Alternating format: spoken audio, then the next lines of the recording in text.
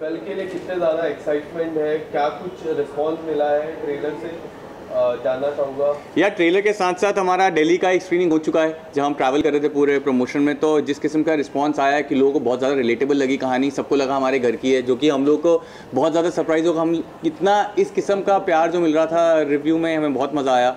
और, अब दिल्ली में चीज़ें बॉम्बे में चीज़ें शुरू हुई हैं तो बहुत एक्साइटमेंट है आज हमारा, यहाँ बॉम्बे का स्क्रीनिंग है। अभी चल रही है अंदर स्क्रीनिंग तो अब यही इंतज़ार होता है किसी भी एक्टर का इतने साल आप महीने साल लगा के आप फ़िल्म बनाते हैं और अब इसी दिन का इंतज़ार है तो बहुत एक्साइटमेंट है। डिफरेंट डिफरेंट सिटीज़ में जाके आप लोग ने प्रमोशन किया। कोई ऐसी बातें जो कॉमन लगी हो प्रमोशन के दौरान कोई ऐसा रिस्पॉन्स जो कॉमन लगा हो आप लोग को? अगर एक बात करूँ तो जो टॉपिक है जिस जिस बात है वो हर शहर में जहाँ भी हम गए हैं वहाँ पे हमें एक किस्म का रिस्पांस मिला है कि लोगों को लगा है यार ये कहानी सबके घरों में होती है। हर जना ने हमसे कहा है कि यार ये मेरे घर में भी बात होती है ना, शादी के बाद लड़कियों का एक रिलेशनशिप होता है अपने नए फैमिली के साथ और माँ बाप के साथ। और लड़के कैसे डील करते हैं इस चीज़ के साथ और लड़कों का एक अंडरस्टैंडिंग क्या है वो हर जने ने हमसे एक बात करी और जहाँ भी हम लड़कियों से मिले हैं सबने एक ही किस्म का रिस्पॉन्स दिया। तो मुझे लगता है वो एक कॉमन चीज़ वो रही। एक कॉमन चीज़ थी कि लड़कियों को लग रहा था मतलब कि हाँ इस तरह का कॉन्सेप्ट आना चाहिए। उनको भी डिफ़िकल्टी होती है अपने पेरेंट्स की हेल्प करने में। पेरेंट्स ही हेल्प नहीं लेते। तो उनको बहुत अच्छा लगा कि इस तरह की चीज़ आ रही है क्योंकि वो इस चीज़ से इन सिचुएशन से गो थ्रू कर रही हैं स्पेशली वर्किंग लड़के इंडिपेंडेंट लड़कियाँ। और साथ में जितने भी लड़के हैं उनको ये बोला जाता है ना कि भाई आपकी रिस्पॉन्सिबिलिटी होती है आप तो लड़के हैं आपका काम है तो कहीं ना कहीं वो आइडिया कि यार आप सक्सेस को किस तरीके से नापा जाता है और हमेशा आपसे बोला जाता है कि नहीं बेहतर करो जो आपके पिछले परिवार वालों ने किया उनसे ज़्यादा। तो कहीं ना कहीं उस लिहाज से जो एक लड़का लड़की जो चीज़ों में जूझते हैं यूथ आई थिंक उन दोनों चीज़ों के साथ हाँ। लोगों ने हमें रिस्पॉन्ड किया और हम वही चीज़ कर चाहते थे फ़िल्म के थ्रू और वही हो रही है। आप लोगों का एक्सपीरियंस कैसा था? हाउ वाज योर एक्सपीरियंस कहाँ पे ये इसकी शूटिंग हुई? कुछ लोकेशन के बारे में भी जानना चाहूँगा और एक्सपीरियंस कैसा था? उदयपुर में शूट हुई है और बहुत अमेजिंग एक्सपीरियंस रहा क्योंकि तुषार इतने अच्छे बेहतरीन एक्टर हैं आप सब जानते हैं।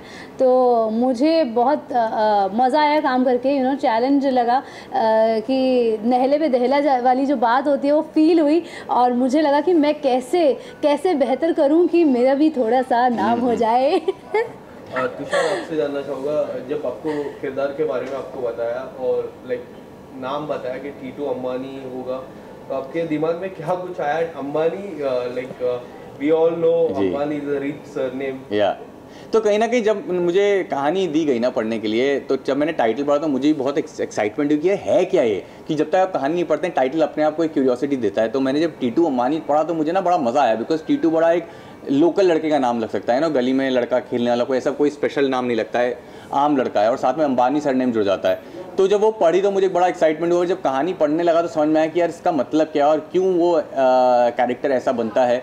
और कहीं ना कहीं एज एन एक्टर हम सबको यार एक एस्पिरेशन होती है कि अब कहानी आपके ऊपर हो, आप टाइटल रोल प्ले करें। तो कहीं ना कहीं सारी चीज़ें एक साथ मिली और कहानी इस तरीके की है पिक्चर देखने के बाद लोग वो थॉट अपने साथ घर लेके जाएँगे और सिर्फ़ एंटरटेन होकर ख़त्म नहीं हो जाएगी वो बात। तो ये सारी बातें आर्टिस्ट हमेशा चाहते हैं कि यू नो ऐसे कहानी के साथ जुड़ें।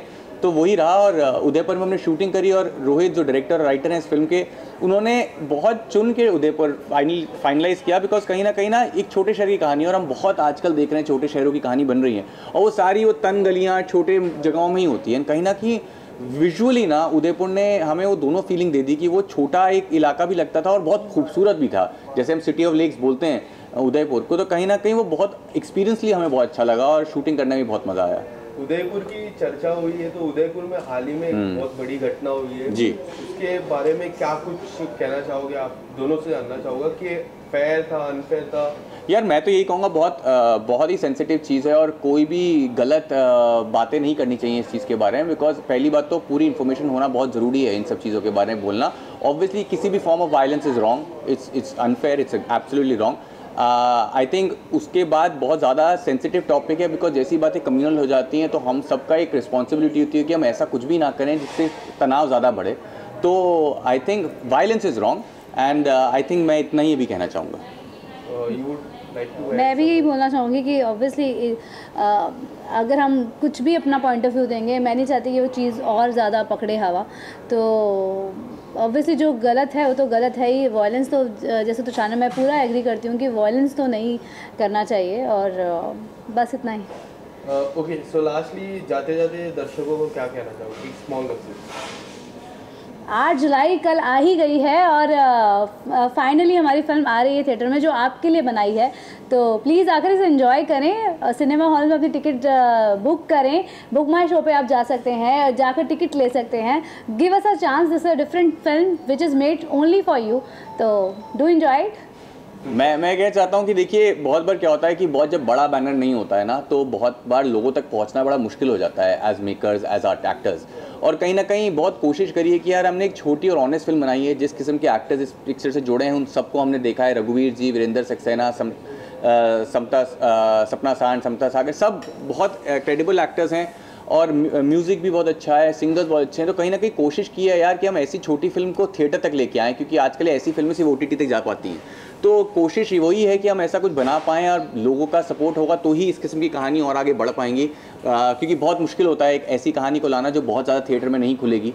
तो मेरी कोशिश यही है कि एक बार आप मौका दें और आप बिल्कुल डिसअपॉइंट नहीं होंगे और बहुत ही इंटरेस्टिंग फ़िल्म है।